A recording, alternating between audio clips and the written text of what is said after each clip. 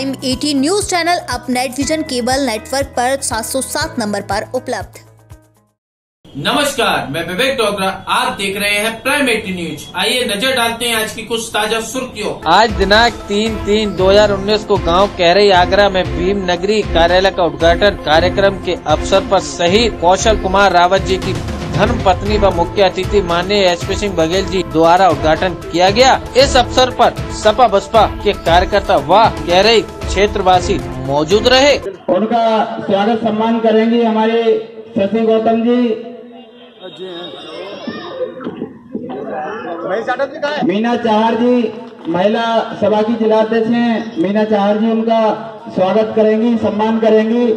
श्रीमती ममता रावत जी का ये हमारे देश के वीर सपूत जो शहीद हुए हैं, उनकी धर्मपत्नी है, जो इस कार्यक्रम की अध्यक्षता कर रही है। आगरा से पवन जैन की खास